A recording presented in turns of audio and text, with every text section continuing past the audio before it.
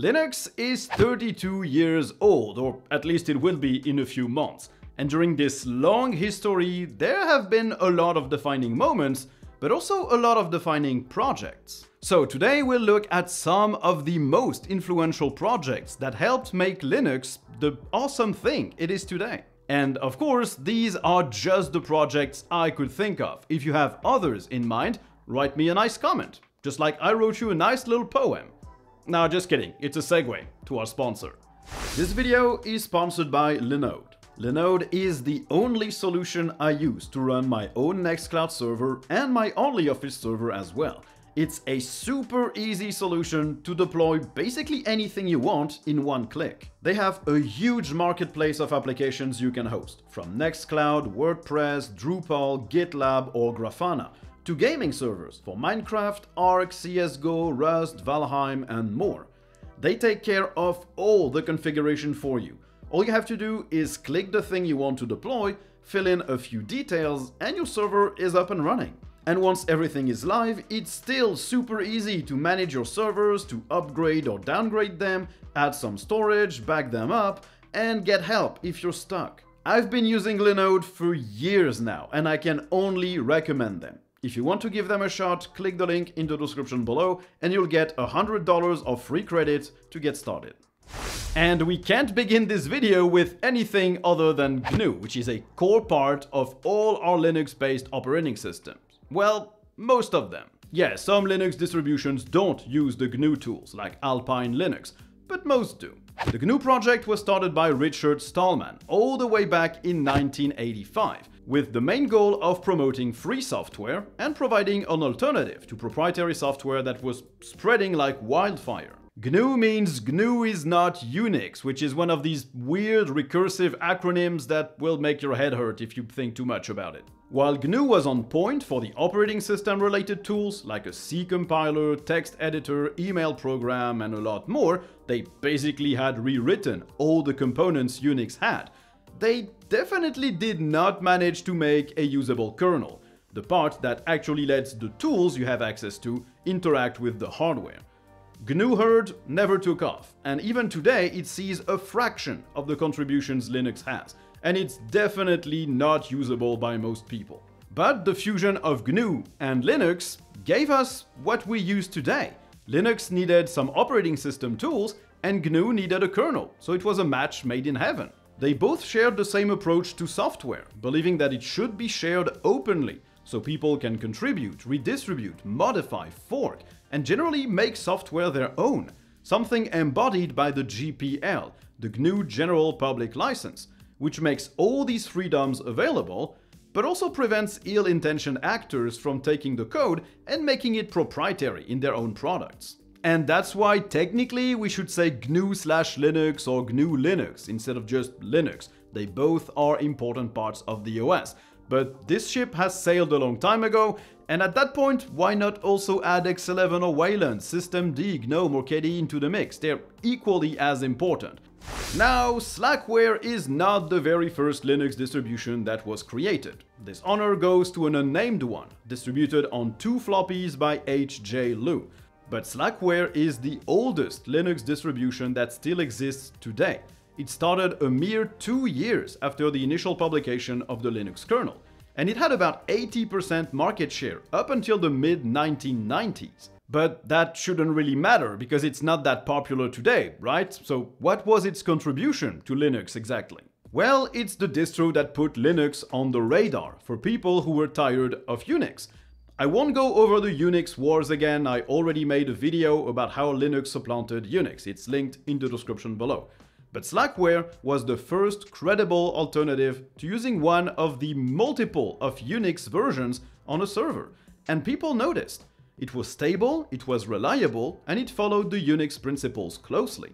And today, Slackware is pretty much the same as it was back then. It never caved to package managers that handle dependencies, or to graphical installers or systemd. It's meant for users who make a decision on every little thing, and don't want any simplification of anything. Which is also why it's not a distribution that will appeal to everyone. It's way more complicated to handle than your regular Ubuntu or Fedora, but it's still alive today and it even got a release in March this year. Okay, now something you might not know about. Yggdrasil Linux. It was another Linux distro with its first alpha version released at the very end of 1992. And what makes it special is the fact that it was the first to bring a live CD to Linux. Something we take for granted today. We slap an ISO onto a drive, we boot from it, we can try it out and see if things work, but at the time, this did not exist. You had to install the distro before you could check how it worked for you. Yggdrasil really was the root of how we envision Linux installs today, and it even branched out into fully live distributions, like Tails, but they must have been barking up the wrong tree because it ceased operating in 2004, the poor saps. Okay, I'll stop with the tree pun and I leave now.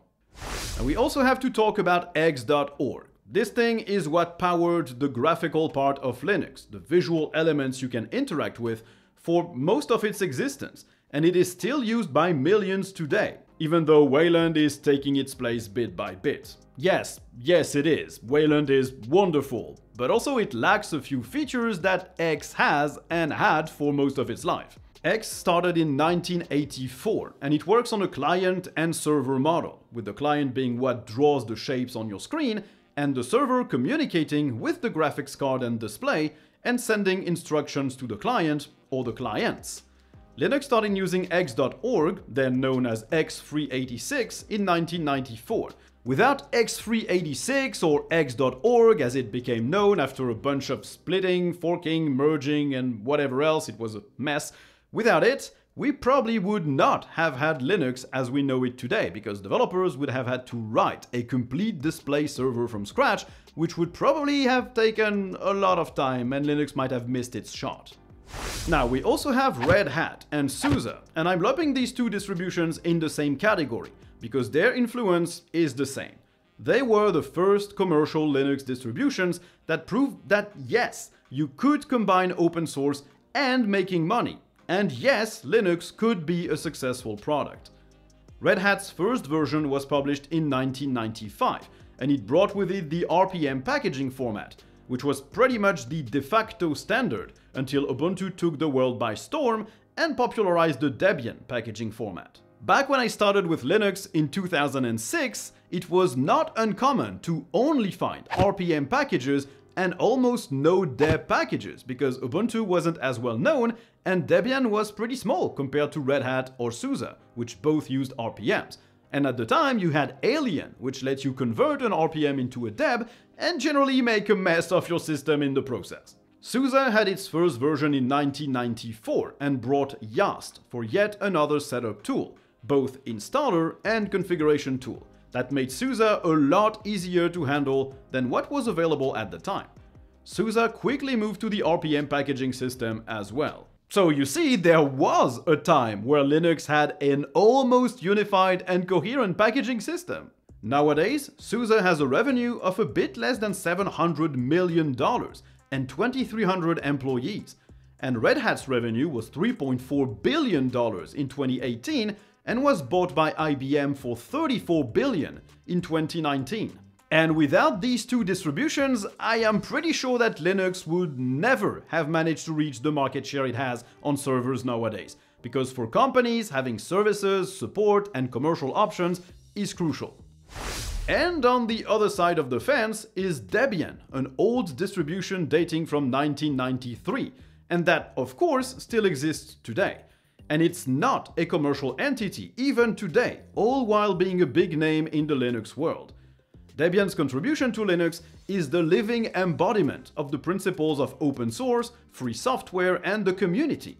Everything in Debian is community run, from the infrastructure, the direction the project goes in, package maintainers, documentation, everything is done by community members and voted on by them.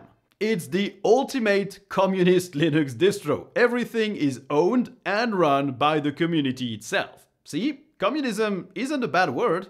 Another big contribution to Linux as we know it from Debian is, well, Debian itself. Debian is the base for a lot of the most popular distributions these days. Ubuntu, that's Debian based. Kali Linux, Debian. Mint, it has a Debian based version. And indirectly, all the Ubuntu-based distributions are also inheriting from Debian. So without Debian, we probably would not have Mint, Zorin, Elementary OS, Pop OS, and the like. And speaking of Ubuntu, it might not be the paragon of the Linux desktop it once was, but when it was introduced, it was a small revolution.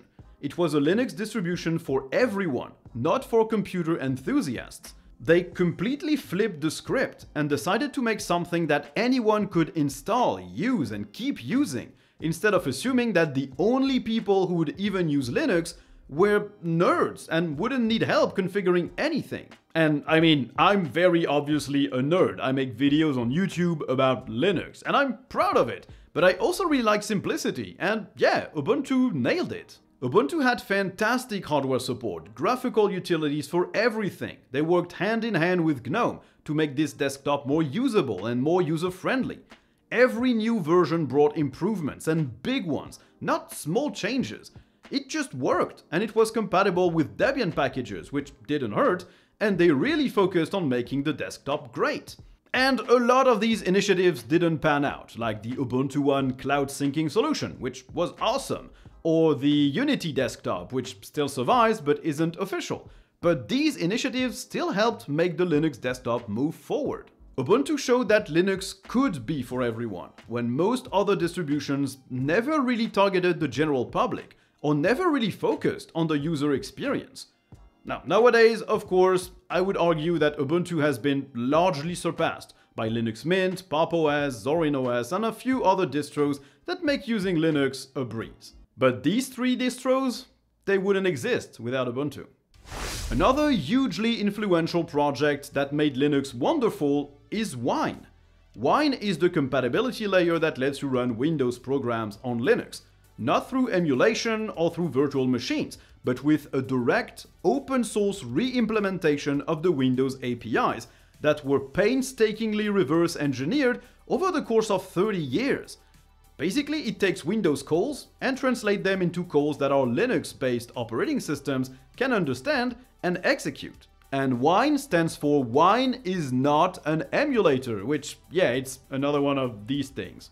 Wine is a very important project, because without it, Proton wouldn't exist, gaming on Linux virtually wouldn't exist either, and the Steam Deck would never have been a success, or maybe would never have been introduced at all. Because Proton is based on Wine, and while it is enriched with other projects like DXVK or VKD3D that translate graphical instructions into instructions Vulkan can understand, the very base of Proton, the thing that runs the launchers, the game, and your cracked EXEs as well, you little thief, that thing is Wine.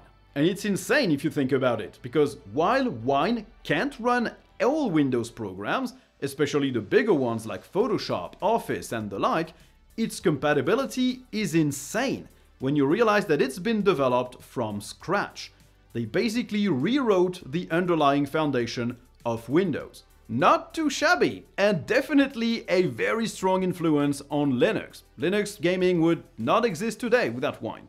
So there you go, 9 super influential projects that helped shape Linux into the fantastic operating system we love and use today. And if you have other super important projects that I forgot, let me know down there in the comments and I'll look at it after you look at our sponsor. If you're in the market for a computer replacement and you plan to run Linux on it, maybe it's time to stop buying Windows devices and hoping that Linux will run fine on them. Maybe it's time to buy hardware that was designed specifically for Linux from our sponsor, Tuxedo. Tuxedo is based in Germany, but they ship to most countries in the world, and they have a big range of devices that should cover every need and every price point, whether you're looking for a laptop or a desktop, for something affordable or something ultra powerful, for something for gaming or a workstation, they have it all. All the devices are very customizable, very configurable, and all the laptops are openable, repairable, and upgradable, including the battery, the RAM, the SSD, and sometimes even the wireless card. So, if you need a new computer, don't buy a Windows one. Click the link in the description below and buy something from Tuxedo. So, thanks everyone for watching the video, I hope you enjoyed it. If you did, don't hesitate to like, to subscribe, to turn on notifications, to write a comment, and if you didn't, well I guess there's always that dislike button and the comment section to tell me why everything sucks. And if you really enjoy the channel and you want to help support it, there are plenty of links in the description below for Liberapay, Patreon, YouTube memberships, YouTube thanks, and PayPal and the like. You know what to do. So, thanks for watching, and I guess you'll see me in the next one. Bye!